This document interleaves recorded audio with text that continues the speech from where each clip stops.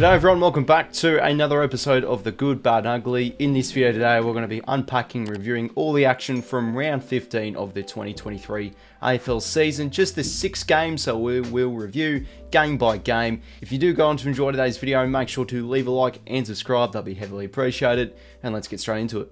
So with round 15, another six games we did have, the final bye rounds of this season.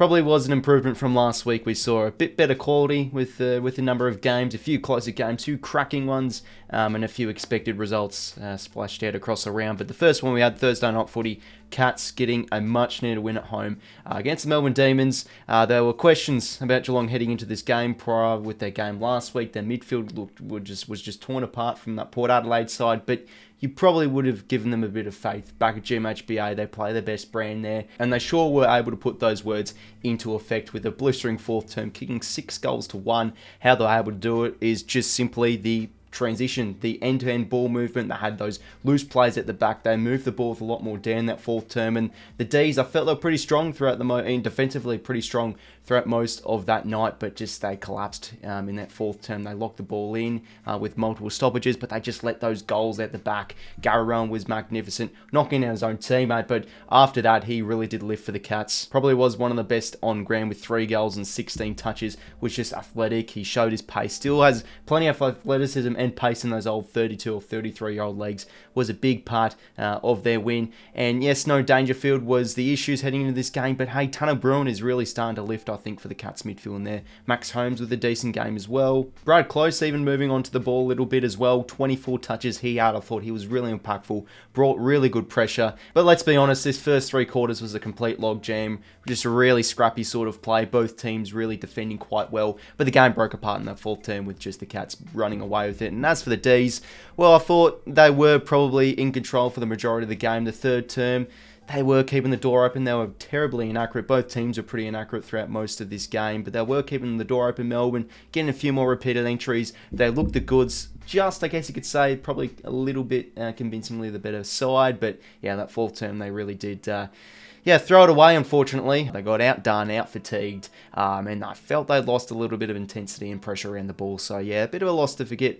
for Melbourne, but losses like that do happen for all kinds of teams. But, uh, yeah, they really need to bounce back and get back on the horse. Moving on now to Friday night's game with the Brizzy Lions with a much needed win over the Saints by 28 points, and it was pretty much Brisbane all night long. The Saints had a few goals, you know, they're always you know, quite plucky and they were peppering with a few goals back, but it just always seemed to be Brisbane were able to respond. Their defence was good enough, led by Harris Andrews, just superb in the air. That's something like over 15 intercept possessions, a whole heap of marks. He was just bossing it in the back half. And helped by Lester and Payne, I thought those players did really good jobs. Obviously, Payne goes to the number one key forward, whilst, uh, you know, Andrews is sort of able to work off that, um, and he was just at his best. Um, all Australian sort of form best and that certainly was on Friday night. And just setting up from the back beautifully well, they were strong. Um, I felt they really bullied St Kilda's midfield. The Saints just didn't look up to it um, in terms of uh, being a genuine chance in this game. Completely outdid them in stoppage and around the ball, um, and they were just deadly in their forward half. They always are a really good side um, in their forward half, the Brisbane Lions, and yeah, the Saints again, just with their defence, it just seems against opposition um, that take the game on and play that fast ball movement and are very good off the turnover they seem to struggle and they seem to struggle to put on enough scoreboard pressure and enough points. Um, and, you know, apart from Dan Butler, I think's generally been in really good form. Probably, um, you know, I felt he was uh, quite decent in this game. They just didn't offer enough um, in their forward half. And, and, continuing on with the Saints, they are now starting to enter into a bit of a deja vu period. They always are not a very good second half of the year side. So I feel like something does need to change because if you generally look at the last month, few months or so, they haven't been at their best um, compared to the start of the year. They've really dropped off, I think, a little bit defensively. But the most important thing is just how they score themselves. I don't think it is. Um, they're doing it too convincing at the moment. They don't put on enough points. Um, they just got outclassed by that Brisbane midfield and struggle with a lot of foot skills out of the back half. I felt like they had too many turnovers in their back half.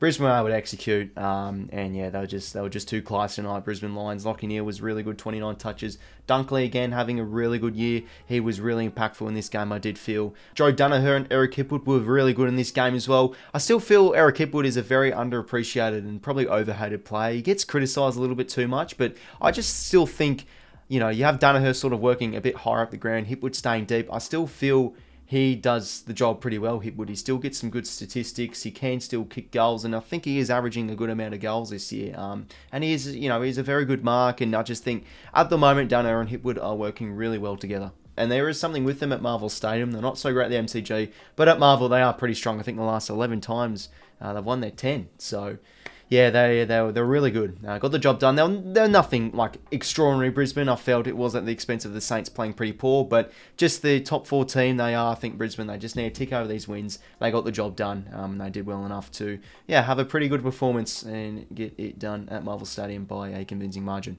And now we move on to one of the most insane games you'll ever see this year. Well, insane meaning not close, but score wise, that is the Swans putting on over 200 points against the West Coast Eagles. For my boys, it was sensational to see a, a, really good high confidence win. Hopefully, that does boost a little bit of confidence in the playing group heading into the next few weeks because with 16% gain, this has put the Swans back into sort of the finals mix. If they can beat Geelong, next Friday night. Um, if they can beat them convincingly, I think they're temporarily in the eight. And let's remember they were 15th before this game, but they were really strong. Uh, but of course, most has to be said about the Eagles. Just terrible. Lack of effort, lack of intensity. Um, they were just deplorable. Again, not really much else can be said about it. Week by week, they're getting belted in the inside 50s. 77 to 34 it was. Felt they did okay around the ball, but they just eventually did get whacked in, especially centre clearances. 22 to 11. Um, a lot of their senior players Obviously, Shuey and I felt Kelly were quite good, and you know Yeo was quite decent as well. But you have Andrew Gaff, who's just been awful um, as of late. You know Duggan back there as well. Witherden was struggling, um, and as a whole, they just had a, a barely no defensive pressure at all. Um, a lot of the Swans' goals were from end to end. They could just waltz around them. They could walk around them. There was that moment with Chad Warner, who's just literally cutting, weaving his way through. You know, with the play like Chad Warner that takes the game on he obviously had a massive day out, but yeah, the Eagles were just terrible.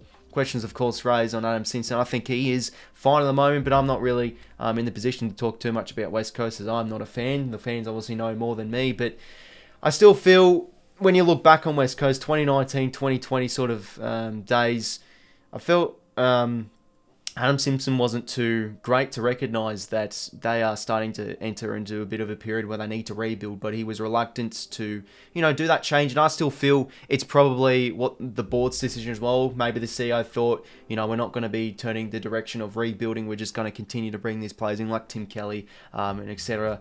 Uh, but it just isn't working at the moment. It's really now come back to haunt them. They have the exact sort of same midfield from 2019, um, and they are getting belted by 171 points. So, an ugly display. Um, they just need the offseason to come quick. They need to have a really good draft.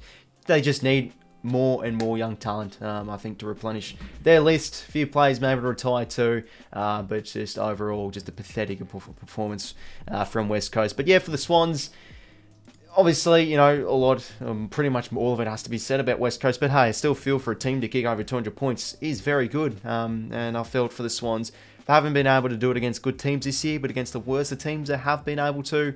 Uh, but it was just a really strong performance all round from Sydney. You know, Isaac Heaney with five goals. Chad Warner was really good. Errol Gulden, um, I feel, like, even against some pretty good quality opposition, he's been really, really good. Another 30 plus disposal game, 32 and three goals might be a little bit of bias, but I feel like this guy's got to be into the more of the All Australian talks on a wing because he has been playing on the wing as of late. He's just been so good. The effective kicks, Always the shot for goals are very accurate too. Angus Sheldrick with 29 touches, he's becoming a really solid player for them in that midfield. Um, a bit of a the first round draft pick from a 2021, I'm pretty sure it was. Uh, but yeah, they're just uh, just a really strong performance all around from Sydney. Just what they needed, you know, confidence up, maybe some egos boost as well. They just now need to head into the next few weeks against some good quality opposition, Geelong next week, and do they now start to make a bit of a run? Because they're in a good position now to get a few few wins in a row and maybe make a push for finals in the last few rounds of this season. We move on now to the Saturday night game. The Freo Dockers with a much needed win over the Bombers by 32 points.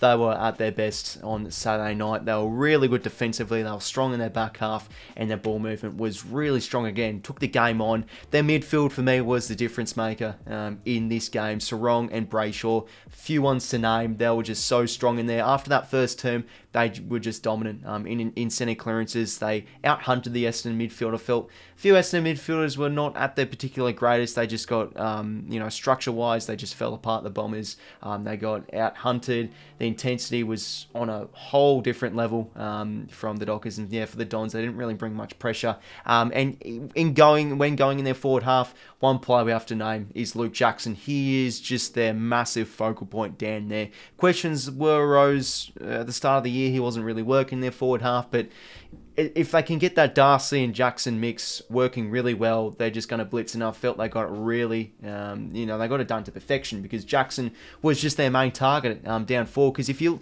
you know, when you think about it, you know, you got Amiss down there, you know, you got Treacy. Sometimes they aren't the greatest options necessarily um, in the marking contest, but with a player like Jackson, he's able to bring it to the ground. He's able to take some really good clunks. He took a lot of contested marks um, uh, on Saturday night. He was awesome, and he definitely brought his shooting boots, kicking three goals, really accurate, seven marks um, and he was able to do a little bit in the ruck too. But he's just such a huge, huge influence to their side when he's up and about Jackson. Of course, Sean Darcy back in there as well, just improves the team structure and their clearance game. Um, and a few players to name, it definitely was Henry's best game in his career finding his home along the wing. And he was really good there. He was demanding the footy. He had eight marks. He had 32 touches. He was just lively across that side of the ground um, and definitely made an impact uh, on the scoreboard as well with a lot of inside 50s. Uh, and then Luke Ryan at his best with 18 marks, sort of playing like a James Sicily sort of style. Uh, but yeah, for the Bombers, Coming off the bye, always unexpected. I felt there were a good chance here. I actually did tip them, um, given they've been really, really competitive um, against multiple teams, um, especially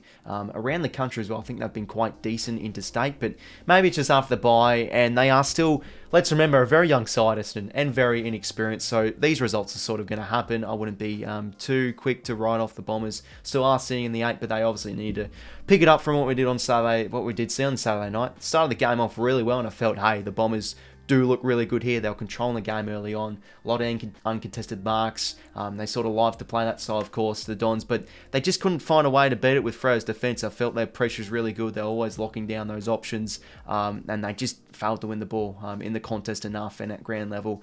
And they lacked a lot of pressure. Um, I did feel as well. Jye Menzie with a quiet game. Um, you know, Sam Durham had one of his poor games uh, this year too. You know, Guelfi bobbed up with a goal too, but they just couldn't um, show enough influence around the ball um, and got out hunted. And can the Dockers now start to get a few wins in a row, start to have Optus Oval as a bit of a fortress because they were really, really strong on Saturday night. Pressure elite, defense elite, and of course their ball movement looked superb with a few star performances in there. 100% this next game here was the game of the round. The Pies getting another classic win by two points against the Adelaide Crows. If you're a fan, if you're not a fan of the Pies, if you're a neutral like myself, you got to love what Collingwood are doing this year. It has just been sensational. Sort of bouncing off what they did last year. Just the close wins. They are so good in those fourth terms because, hey, the Crows' third term was just just an absolute blitz. They were able to finally kick accurate after a poor first half of inaccuracy, kicking eight goals to zilch in that third term. Taylor Walker was the star of the show for the Crows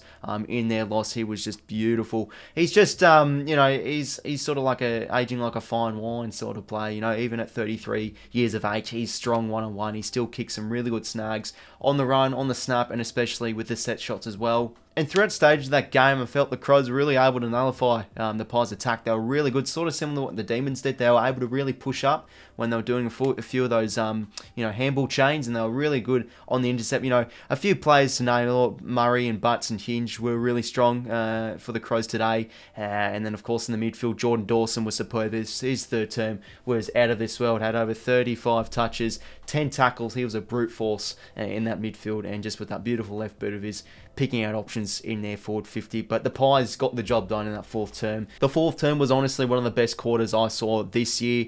Both teams' intensity was just superb, and honestly, as a neutral, I felt this game could have deserved to be a draw, just given how good both teams were. No respect lost from both sides. So I guess with the good, bad, and ugly sort of concept, don't really think there are um, any bads or uglies necessarily. Maybe the umpiring, you know, obviously a lot of people are complaining about that, but as I like to say, don't like to look at that too much. I just like to look at the play itself because it just was really strong um, from both teams. But it always just seems to be undefendable threat times of games. The Pies in that fourth term able to hit a lot of goals through the transition. You know, Mason Cox kicking two in a row in that fourth quarter. Nick Daicos' fourth term. And I, even Josh Daicos' game, always underappreciated player they were so important um, in that fourth quarter when it really mattered. Daicos just ran the ball, hitting those options inside 50 and kicking a goal himself. Uh, you know, Will Hoskin Elliott, of course, getting sort of that match winner. And yeah, the Tex with five goals um, was really superb too. And a close finish, but yeah, that 50 50 moment with John Noble was just to play of the game, I felt, uh, for the Pies, winning that huge 50 50, locking it in outside um, their defensive 50. And another close win for the Pies. Unfortunately, no revenge for Adelaide as they do drop another game against Collingwood this year under a kick but the Pies just too good in the end. Superb game to watch. Alongside the Daicos brothers, you know, Mitchell was really strong in there. He's in, he's been in some really good form as of late numbers wise. 27 touches. Felt Brad Mata was really strong in the fence. Pendlebury honestly felt his game was really impactful too um, throughout multiple stages of that game. But yeah, yeah, just the Pies. Another classic win. One of the best games I felt this year. Um, they were just too good in the end. Again, felt it could have been a draw, but uh, yeah, you gotta have a bit of luck sometimes. Um, and unfortunately, the Crows didn't have it. But yeah, another close one for the Maggies, and they move to the top of the table. And for the final game of the round, we had the Suns with a huge win over the Hawks by 67 points. Uh, nothing against the Hawks. I do absolutely love watching them this year with the good performances they've been able to string together. But I just felt the Suns were easily going to come into this game and boss it um, and pick up a huge result because it's just always with the Suns at home, um, at you know up in Queensland and even in Darwin, they always are really strong there. I mean, if you do look at their record at Darwin at home this year, it is actually pretty strong too. So just also given the inexperience and the young side of the Hawks, they aren't always going to play flashy footy this year. They have struggled a little bit interstate. They've had four big losses there interstate now, including this one. Uh, but yeah, the Suns just too good. Start of the game, uh, well, the Hawks started really well, kicked the first three goals of the game. Mitch Lewis had two goals, but um, yeah, maybe it's just after bye. Um, that's always a bit of an impact after quarter time. They just fell flat. Um, really got out hunted in that midfield. The Suns were able to really move the ball freely, and they picked up and they improved what they did um, from their horror show last week. The centre clearance felt they were really strong in that sort of regard. 6 8 inside 50s to 37, absolutely belted them, and it just is another case for Hawthorn of no Sicily, no Hawks. They just lost um, a really key part back there. You know, Sam Frost back in the team really struggled, and he's a bit of a whipping boy, um, as we do like to say. Um, yeah, there was obviously a lot of possession getters for the Hawks in their back half, but just weren't able to move the ball enough with much there. Um, and there's just honestly nothing after quarter time from the Hawks. It was a dismal performance, but hey, it is obviously going to happen with a young and inexperienced side. Um, you know, they're not going to play the greatest footy week by week, but yeah, the Suns just always good at home. I felt they would really bounce back, and they sure did. Huge game. You know, I only seen two goals and 28, a little bit of junk um, in that fourth term. Uh, wasn't really his greatest day necessarily, but hey, Brayden Fiorini with a lot of midfield time had 35 disposals. One of the best on ground, I had to say. Charlie Ballard again was really strong. Did a superb job on Koschitzke, and also, of course, Collins did a really good job on Mitch Lewis after quarter time. But overall, really good team effort. Felt seeing Flanders back on the team was really good in their midfield. Malcolm Rosas went just banging that second half, kicked goals for fun. Mac Andrew, defensively, he's shown his poise down back as well. Uh, one of more rounds, quieter games, just overall really good team performance. But yes, for the Hawks, a game to forget. For the Suns, a percentage booster. That now puts them in a good position uh, for the eight, but they've got tough tasks now. They've got the Pies at home next week, and then they've got Port Adelaide away, so it's going to be tough for them. But um, yeah, just just what they needed. I felt the Suns dominant um, around the ground and especially in the contested game, outdoing the Hawks and picking up a big one at home. So everyone, there was another episode of the Good, Bad, and Ugly for round 15 of the 2023 AFL season. Make sure to leave a like and subscribe if you want to enjoy today's video. That would be much appreciated. And until next time, I will talk to you later. See you later, fellas.